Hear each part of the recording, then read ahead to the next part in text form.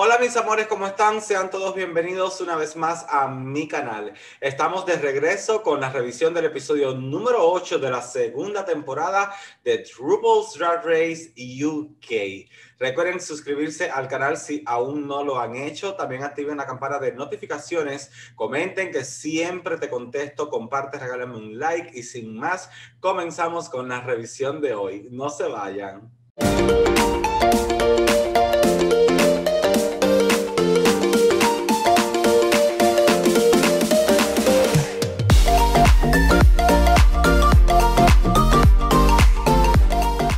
Marica, te juro que esta semana yo adoré el mini reto. Me súper encantó.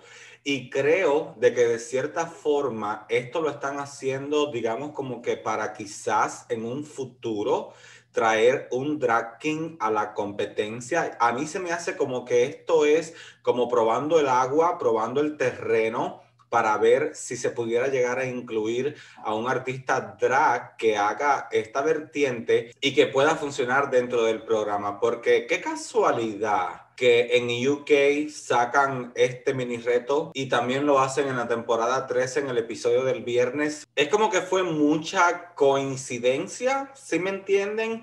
Pero bueno, de todas las chicas fue Ellie Diamond la que ganó el mini reto y por lo tanto a ella le correspondía entregar los papeles para el desafío principal de la semana que era un stand-up comedy. Ah, tenían que hacer comedia, hacer reír, pero lo más difícil es que ni siquiera había una audiencia real. Entonces, de por sí, hacer reír es complicado. Y encima de eso, tú como artista no vas a tener la retroalimentación del público que no va a poder eh, reaccionar a tu chiste. Es difícil. Y creo que de verdad que a estas pobres cinco perras les tocó, creo que uno de los desafíos más difíciles de los stand-up que se han hecho siempre en Drag Race en la historia, porque creo que es primera vez probablemente de que no hay gente real en esa audiencia respondiendo a los chistes, a las bromas. Y bueno, pues como ustedes vieron, se hace una guerra campal porque Lauren Shani se pone muy brava porque no entiende, no comprende, no apoya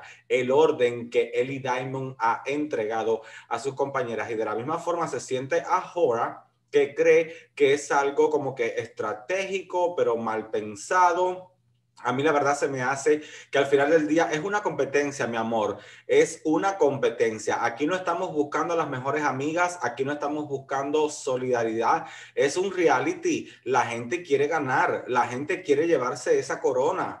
Y entonces no podemos juzgar las decisiones de nadie, por muy estratégicas que sean si eso le va a ayudar a llegar a donde la persona quiere. So, por lo menos de mi parte, créanme que no tengo ningún resentimiento contra Ellie Diamond porque yo en su lugar hubiera hecho lo mismo. Yo sé que al final del día todas son personas mayores de edad, todas son personas que saben lo que están haciendo, son personas que no necesitan a mamá y a papá que venga y les diga esto está bien, esto está mal, pero creo que cuando tienes un coach está ahí por algo. porque Alan Carr no le dijo, ahora lo que estás haciendo es demasiado fuerte, puede que eso no funcione, yo te recomiendo que lo quites, que lo saques, que lo cambies. Él se lo dijo, pero al mismo tiempo no es como que tampoco le insistió en que lo sacara. Es como que le dijo, no lo apoyo mucho, pero haz lo que tú quieras. No, tenía que haberle dicho, no es permisible, no lo hagas. Eso te va a costar probablemente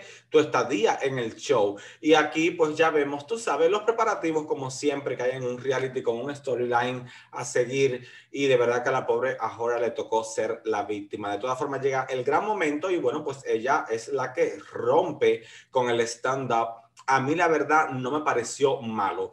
Grotesco tampoco puedo decir porque al final es como que le pusieron el pito a todo lo que dijo. Yo quiero oír la parte cruda, yo quiero oír la parte explícita para ver qué yo decido, si reírme o vomitarme. Pero de todas formas, creo que sacando esto de la crudeza del humor, de haber sido tan vulgar, me parece que para ser Ahora es como que ella de verdad defendió bien su comedia. Uno tiene que tener en la vida expectativas altas, en ciertas circunstancias cuando esa persona es buena en lo que se está pidiendo. Pero cuando es una gente de la que tú no tienes nada que esperar y que te pueda sorprender, es algo que tiene mérito, que cuenta, que vale. Por ejemplo, digamos que en este episodio, de quién uno tenía las expectativas por el cielo, de Lauren Chaney, que se hace llamar tanto la comediante y también de Bimini Bumbulash, porque es la que ha demostrado que también lo tiene así natural, porque le corren venas por la sangre. Pero si el resto no son comediantes y aún así te hacen reír y te demuestran de que pudieron hacerlo a pesar de no ser su fuerte, creo que es algo que es digno de celebrar. Y es lo que me pasa con Ahora, que yo siento de que sí, habrá sido vulgar y todo lo que quieran decir, pero al final del día no lo hizo mal. Y le sigue Ellie Diamond, que la verdad creo que también es alguien que me sorprendió. No fue que me morí de risa, no quedé infartada a carcajadas, pero reconozco que para ser ella, que de por sí es un personaje bastante plano, es como que lo logró pudo brincar el obstáculo, se le dio fácil, no fue excesivamente cómica, pero por ponerte así un ejemplo rápido comparada con Lauren Shannon, es como Lee Diamond entendió mil veces mejor el reto, pasando a Bimini, que mi amor de verdad fue la que se comió viva a todo mundo. Es como que ella salió tan sensual, tan provocativa, tan segura de sí misma. Es como que no tuvo que salir necesariamente en plan payaso para dar gracia. Aún desde lo sensual, ella sabía que podía vender su historia, su personaje, así como los chistes que iba a contar y de verdad que fue muy buena, fue icónica, dejándole entonces un escenario ávido por mucho más a la Lauren Shannon que viene atrás y yo no sé realmente qué hacer, si llorar por la historia tan fuerte de vida que ella estaba contando de su experiencia creciendo como niño gay y con sobrepeso o reírme con unos chistes que yo nunca vi que llegaron a aterrizar. Cuando tú estás haciendo comedia, tú quieres que el chiste llegue, que caiga rápido. Si eso yo lo hago en un show de los míos en vivo, a mí la gente me caen a tomatazo, me tiran latas de mierda, latas de cagá de puro estiércol.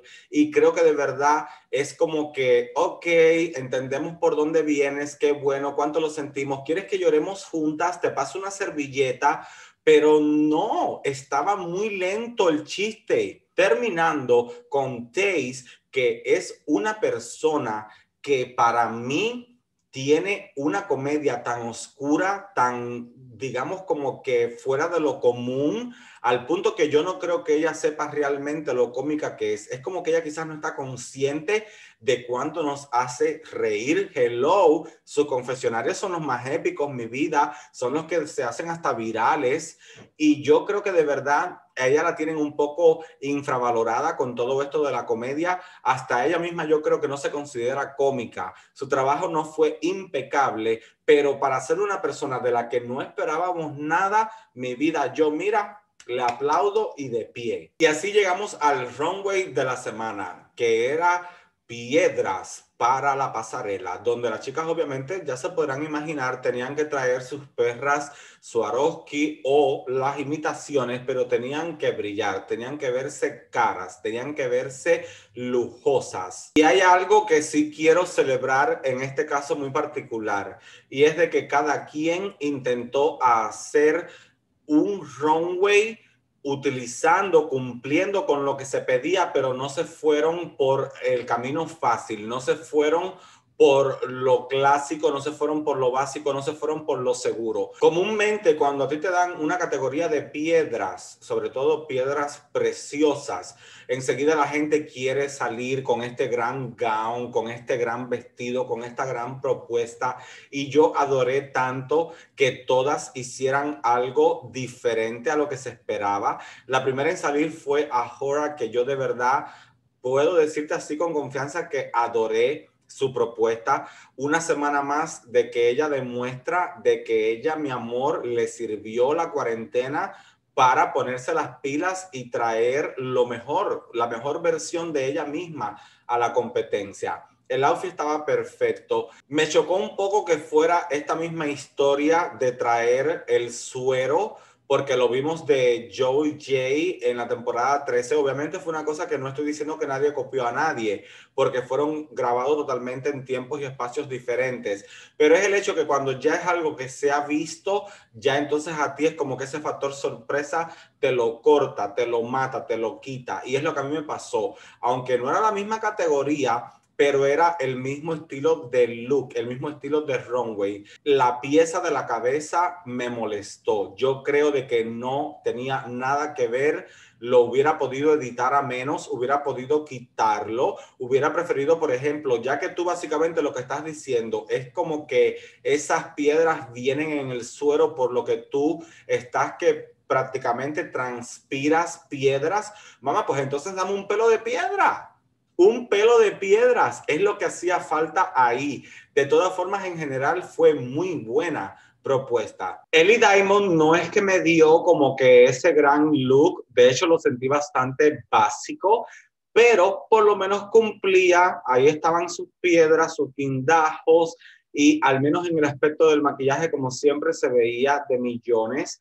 y sí me gustó que por lo menos se sigue saliendo de los chaps y es como que ya nos está dando modelitos diferentes, pero estaba ese look a la altura de un top 5, no me parece. Mini Bomb salió y yo me encomendé ante ella como si fuera la virgen a la que tenía de frente. De verdad que aunque fue grotesco, porque sí me dio un poquitico de asco, pero estuvo tan bien pensado y eso es lo que necesitamos en Drag Race, que las personas aprendan de que es necesario buscar ese impacto, ese factor sorpresa, ese choque, que no sea lo previsible, lo que todos esperamos ver. Y el hecho de que su cuerpo entero era una sarna de perro, era puro grano, creo que entre lo grotesco, pero lo bien logrado es algo de las cosas más impactantes que yo he visto en esta competencia. Me gustó mucho que fuera en especie de este, sobre todo de este chaleco de hombre, como que de este blazer cargado, mi amor, ancho, algo que se ha estado llevando mucho en las grandes pasarelas últimamente, sobre todo en las mujeres. Así hemos visto a Cristina Aguilera, a Lady Gaga, a Rihanna, y de verdad que ella me dio full editorial, full runway. Aquí fue cuando yo dije, creo que esta perra es la que va a ganar la competencia. Y sale Lawrence Chaney con la que ya no quiero ser comparada. Estaba muy bien, estaba icónica, estaba épica. Yo lo entendí era un cuarzo, era una piedra, era de por sí la propia piedra, literal, en sí, porque ella no traía piedras, ella era la piedra, pero es como que al mismo tiempo, ok, enriquecido, sí, muy bien logrado, pero era un parisu, era un parisu era un traje, un caso, una cosita de esta, payasito, brincatierra. Me recordó mucho al show del Cirque du Soleil en Las Vegas, Nevada. No, mami, elévalo, dame otra cosa. Es como que ya, pero sí, sí tengo que decir de verdad que la pieza de la cabeza estaba impecable, así como también el trabajo donde ella puso cada piedrita. Todo en general estaba orgánico, dinámico, muy buena selección de color, se entendió el mensaje pero es como que eres fucking diosa Shanae. So, véndenos ese Olimpo, véndenos ese cielo, véndenos el paraíso, marica. Y por último sale Taze, que para mí también cumplió muy bien la categoría porque no dejó sus piedras fuera, pero metió tanto metálico, metió una cosa tan extremadamente robótica, metálica, que es como que disociaba un poco de lo que realmente se buscaba en el runway. Se veía impecable, adoré que al fin sale con un pelo trabajado, ya no salió con una peluca de esta de mujeres, de pelo natural de AliExpress, ya aquí sale con un peinado trabajado que se ve que llevó tiempo, su maquillaje como siempre impecable, el look muy bueno, aunque sigo viendo problemas con las medias y con el cuerpo,